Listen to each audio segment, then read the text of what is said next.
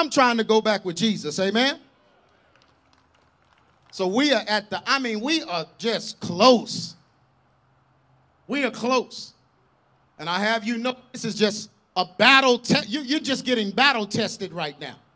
That's all it is. You're getting battle tested to see if you can fight your way through with your weapons of warfare, prayer and supplication, to see if you can fight your way through.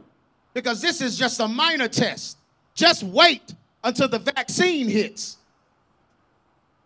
And they tell you you either take it or you don't go back to work. Or they demonize all of the religious people or Christian people, call us fanatics because we don't want to take it. Somebody sent me a video of a guy just going crazy. They had to restrain this guy and lock him in his car because he was going around just trying to hurt people that didn't have masks on because he felt like, felt like they were a threat to humanity.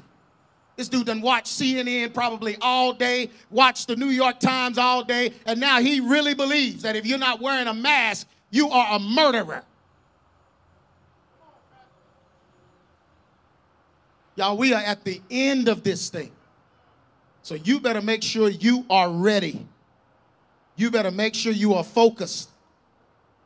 Amen? All right. Well, you know, folks been commenting and telling me, say, you sound angry. I sound like your daddy should have sounded. That's what I sound like. I sound like your daddy should have sounded. But because all you heard was a woman's voice, you think I'm mean and tyrannical. I'm just preaching the gospel.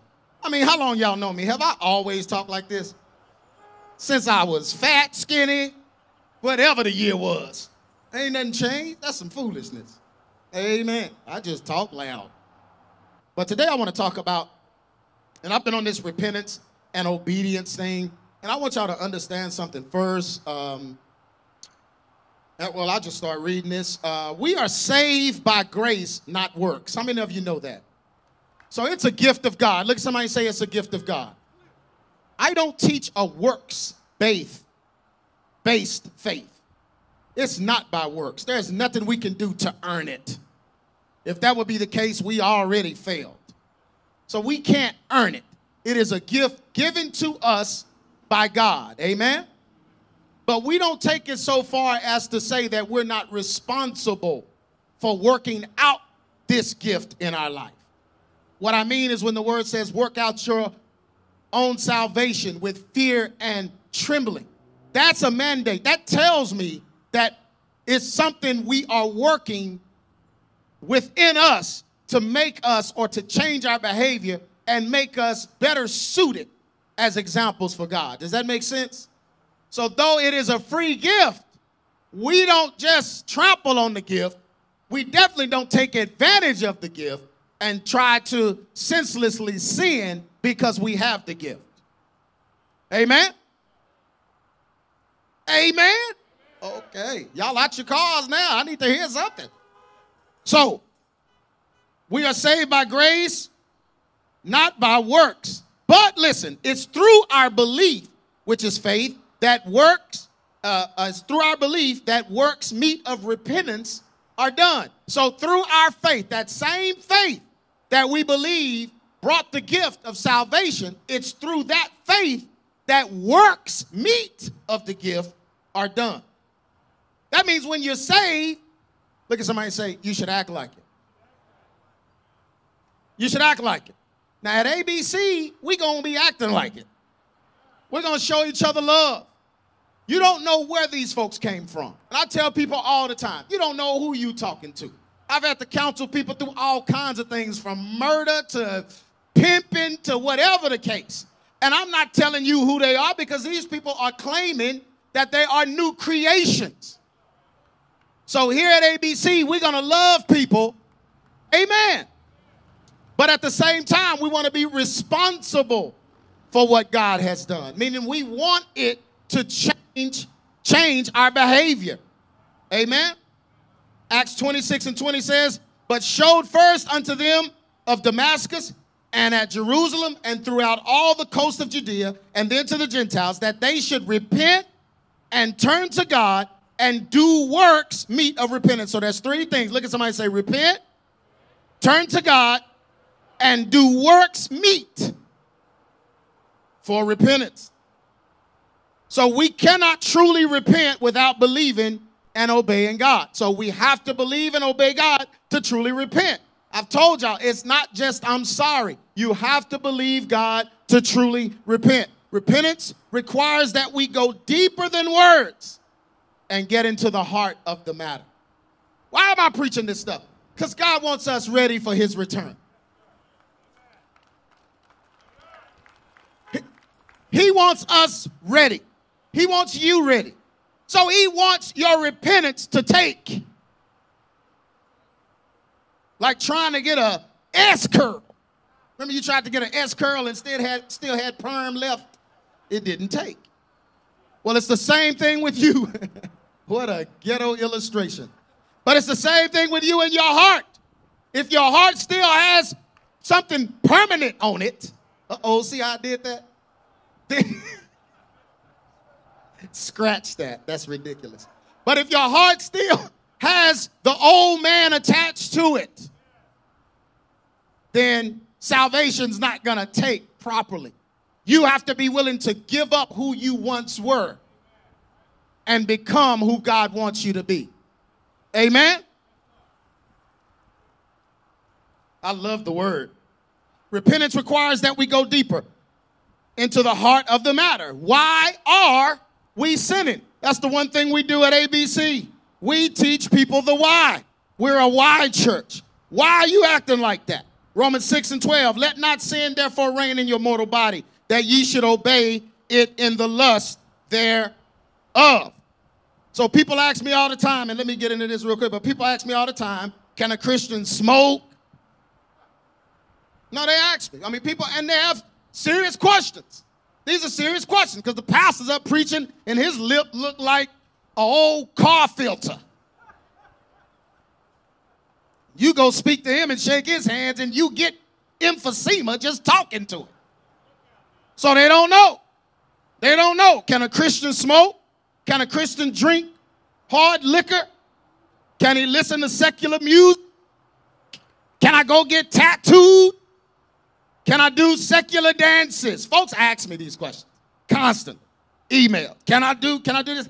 But the question should be why does a Christian need or desire these things? Okay? And this isn't poking fun at anyone. You may have a legitimate question. You may smoke. Whatever the case. But I'm answering the question now. The question is why does a Christian need them? And obviously you need them or you wouldn't even be asking, can I keep it? Now, I grew up holding it, so it was certain things we knew right off the bat. When we get saved, you can't do that no more. It was just taught to us. But we're dealing with a generation where it's not taught clearly. Or some of these behaviors are exhibited by the church. Pastor having a step team come to the church and they dance in the secular music and all this kind of stuff, and it just sends a confusing message to the body, and the folks don't know if they should or shouldn't be doing it, right? Proverbs 14 and 12. There is a way that seemeth right unto a man, but the end thereof are the ways of death. So folks can think it's right. But let me tell you something. What is the issue that is causing you to need to smoke? Smoking costs money. Hey man, you ain't going in the backyard and just rolling up whatever's growing back there and smoke. You spending money. So if you're spending money, there's a need there. Where your treasure is, that's where your heart is. So if you're spending money, you need that. So why do you need that is the question. Why do you need to drink excessively? Why do you need to hear music that is unfruitful to you? Amen. What are the needs for these type of songs? What is going on? Well, let me tell you something whatever that substance is, is in the way. Substance. It's a substitute for what God could really do for you. So while you grabbing a cigarette to calm you down or a blunt or whatever you smoking to calm your nerves and fix the anxiety, that's telling me that something is up with your heart. And there's a part of you that is unyielded to God. Amen. You reach for the hard liquor. I guarantee you, if you got a journal and you journaled your life and you begin to journal every time you have to smoke, every time you go for a drink, every time you have to listen to some filthy music or some music that's not glorifying God or whatever, if you journal it, you will see a pattern. And there's a pattern that exists when a certain feeling, circumstance, or even a certain environment or whatever comes upon you, that need for that arises because you're trying to mask something else, a deeper issue. Can I preach to y'all today? And so it would behoove you to, to take inventory and find out exactly what it is. Because the worst thing you can do as a believer is walk around in a contradictory state or be in a contradiction, meaning I believe in God, but God doesn't solve my problems. I believe that God is great and I sing songs about him. But my real deep issues, I need a substance to abuse. I believe that the Bible is true and I believe that God is real. But when things get really bad, I have to reach for something else, a, another spirit, which is what hard liquor is. They even call it a spirit. So, what you're doing is you're taking, you're transitioning your mind, you're transitioning your heart to a earthly substance, when in actuality, the Holy Ghost is supposed to feel that need. And people ask me all the time, well, brother, I've, I've been praying to be filled with the Holy Ghost and I, I just don't feel like I'm filled. Well, if you don't feel like you feel, you're definitely not filled. Well, what do I do? Get filled. How do I get filled? I don't know how you get filled. The Bible tells me to ask for it. But he says some things you ask for, because you ask amiss, you don't receive them. That must mean that there are some things in your way that you're, you're not willing to give up and it's blocking access to the very God that could answer it in the place of what it is that you won't give up. There is something in you that needs addressing. You are obeying the wrong things. You are obeying the lust of your body instead of God's spirit. Galatians 5 and 17, for the flesh lusteth against the spirit, spirit against the flesh. These things are contrary one to another, that ye cannot do the things you would. Now, listen, repentance is turning from sin and changing your belief. That's what repentance is. Repentance is not just, I'm sorry. Repentance is turning from it and then changing your belief about it. No longer believing that it's okay to live that way or commit those things. You see what I'm saying?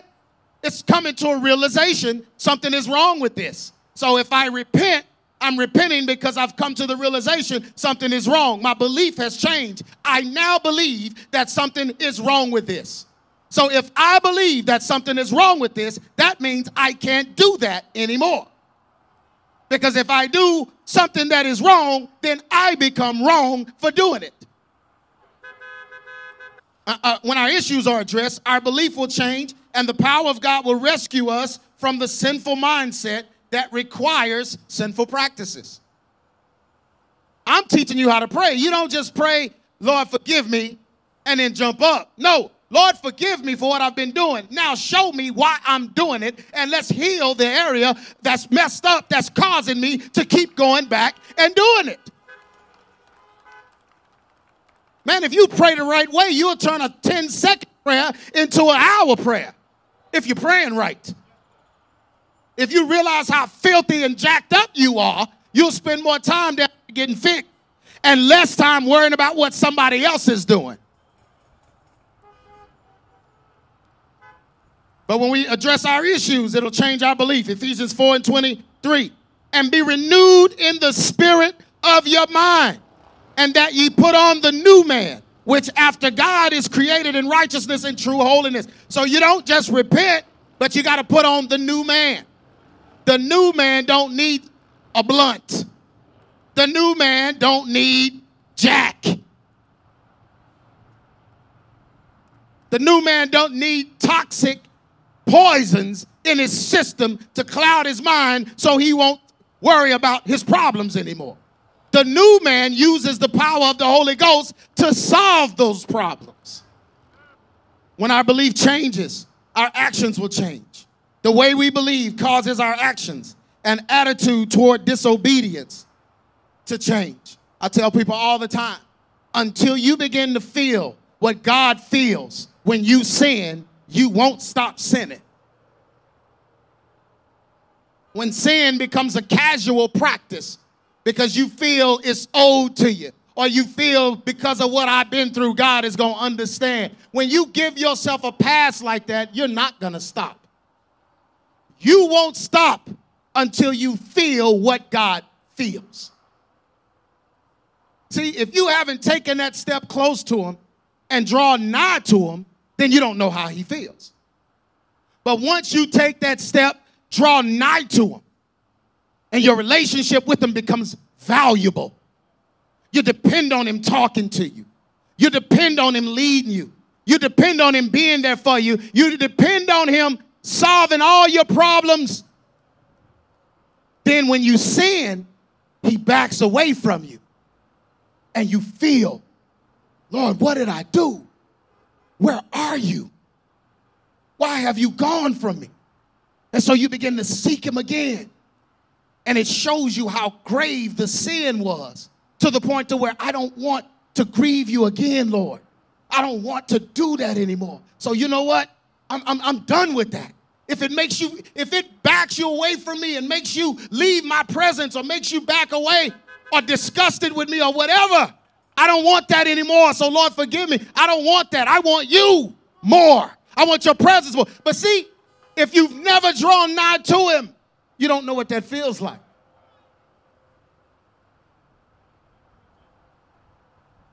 That's why it's so important to draw nigh to him. He said, if you draw nigh to him, he'll do what? He'll draw nigh unto you. And the closer you get to him, the less you will even need nicotine and alcohol and music. You won't need all of that because all that stuff is masking a deeper issue. And God wants that issue. He wants to heal you from that issue. Amen?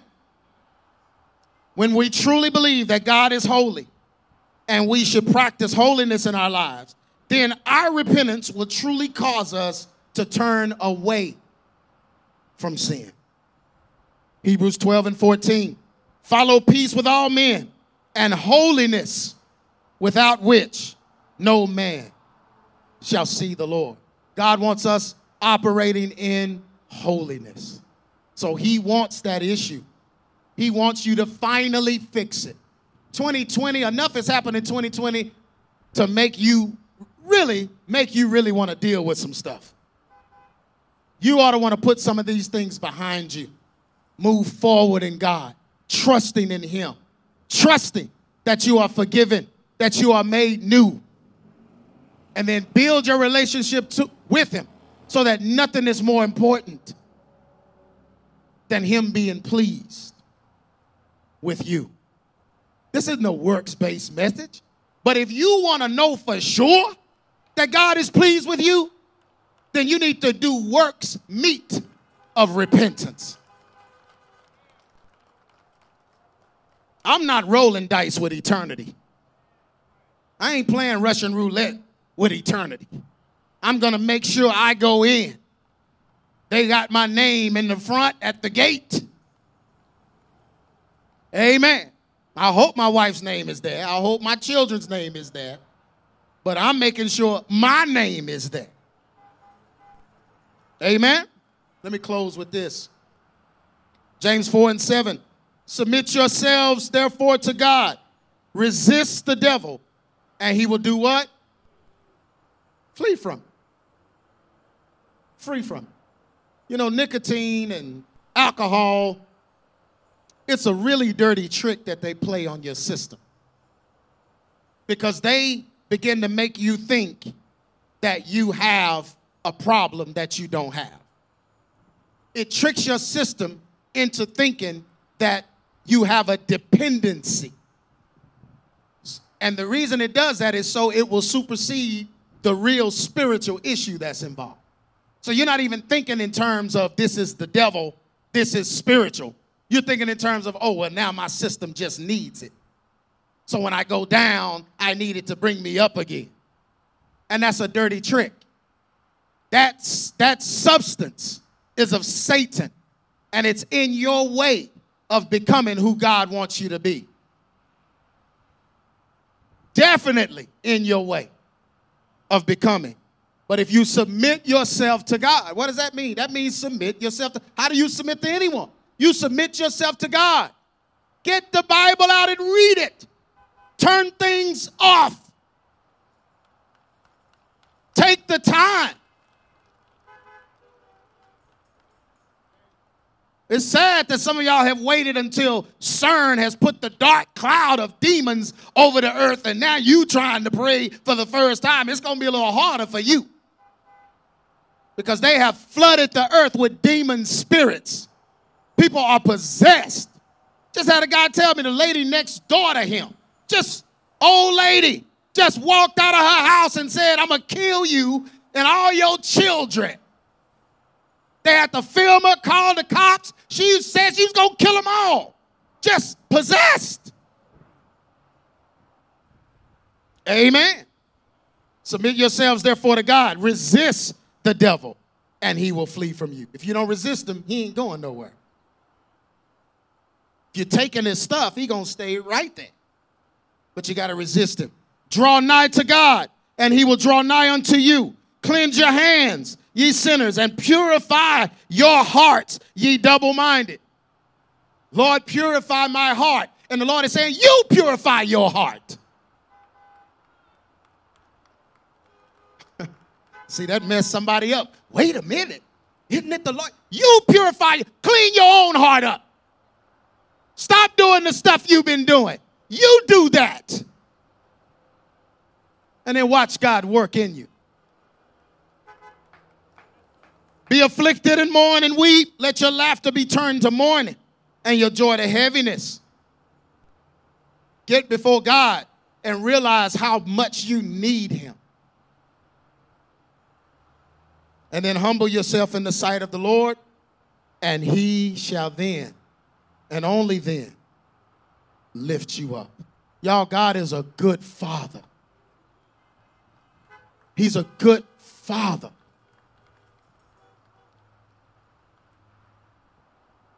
He's a good father. So listen.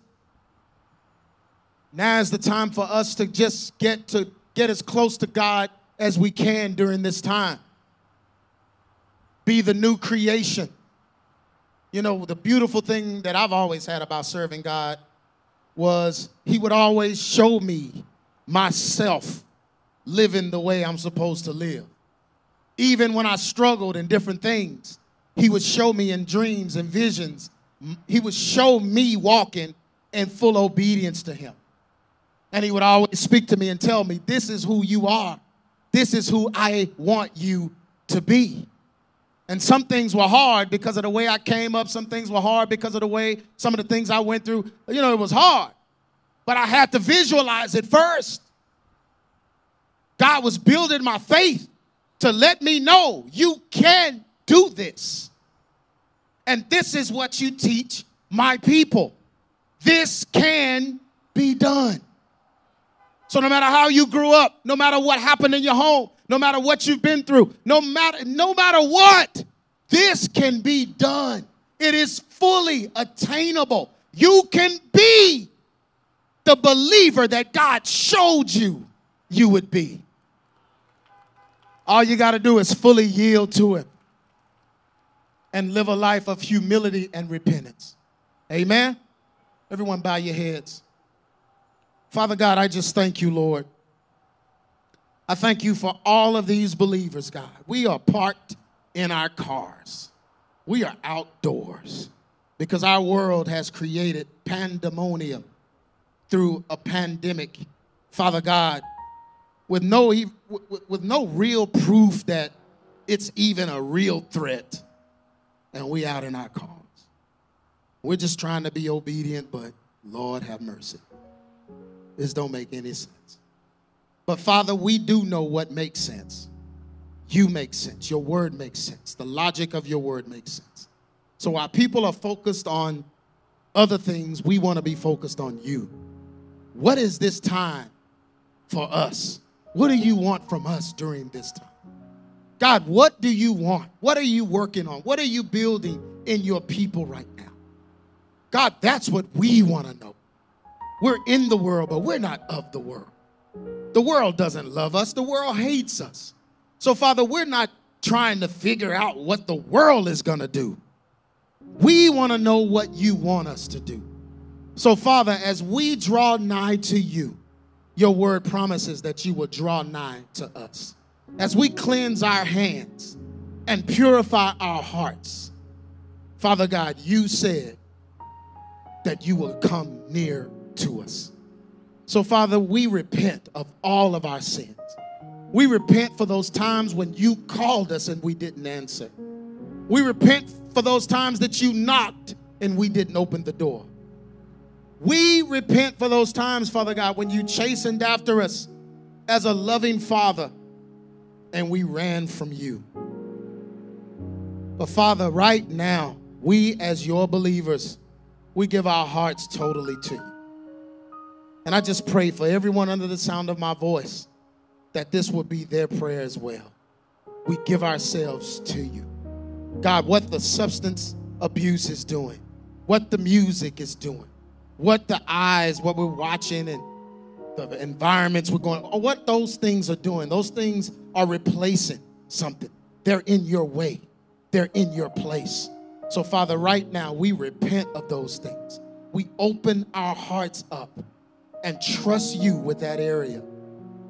Father, all of those that have asked me about it, just all of the people that will be listening to this message, Father God, show them the reason why, the why. Why do you need that? Why do you want that? Why do you covet that? Why do you say that? Why do you upload that? Why do you view that? Why? What is it that is missing? Father, I pray that you will fill that area with your spirit. Fill your people. You said in the last days you will pour out your spirit upon all flesh. Your sons and daughters shall prophesy. So, Father, we pray for that infilling right now. But we must purify our hearts, move these things out of the way, make room so your spirit can reside in us. So, God, whatever's in the way, take it away. Whatever's in the way, give us courage to walk away from so that we can be filled in this last hour. And we will give you glory and honor until you return. And I pray against the spirit of fear. God, when I mention the things about the sun and all the things that are happening, I don't want anyone to be fearful about it. God, because our trust isn't in the sun, not the S U N. Our trust is in the S O N. We trust you, God. We are yours. So whatever happens to this world was not meant for us. Because you said you would descend from heaven with a shout, with the voice of an archangel, with the trump of God. The dead in Christ shall rise, and we that are alive and remain shall be caught up together to meet you in the air. And so shall we forever be with you. We trust your word and we believe it. In Jesus' name we pray. Amen. Amen.